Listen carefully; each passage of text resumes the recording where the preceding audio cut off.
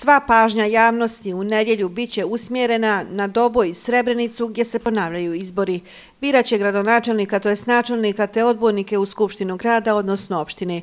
U Doboju će se glasati na 89 od ukupno 108 biračkih mjesta i socijalističke partije poručuju da izlaze u punom kapacitetu i da za sprovođenje izbornog procesa očekuju potpunu odgovornost Centralne izborne komisije Bosne i Hercegovine. Smatramo u potpunosti odgovornom Centralnu izbornu komisiju za bilo kakvu nezakonitost u izbornom procesu. Očekujemo od supervizora koji će biti prisutni na biračkim mjestima u ime Centralne izborne komisije da obezbijede posmatranje izbornog procesa, da našim posmatračima obezbijede uvid u izborni proces, u izborne materijale. Sigurno nećemo se ovaj put povući.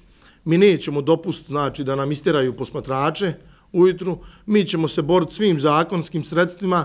Iz opozicijonih političkih partija kažu da očekuju da će ponovljeni izbori biti fair i korektni. Ukoliko bude nepravilnosti, poručuju, slijede žalbe i ovoga puta. Demokratski narodni savez će dostojno da brani znači, demokratiju i naravno tu smo da, da, da, da uputimo sve žalbe i sve primjere koje budemo imali na, na, na biračkim mjestima kako u Gradskoj izbornoj komisiji, tako i CIKO. Na novim izborima u nedjelju spriječit ćemo sve manipulacije i one za koje ćemo imati vremena ovdje da ih saopštimo javnosti, ali i za sve, cijeli repertoar. U nedjelju pošto nam dolazi preko više stotina akreditovanih posmatrača ovaj, da proprate izbore, ja smatram da se ta agonija mora završiti, da će izbori biti fair i korektni. Pravo glasa na ponovljenim izborima na 89 biračkih mjesta u Doboju ima 50.615 birača u ime Centralne izborne komisije komisije izbore će nadgledati supervizori.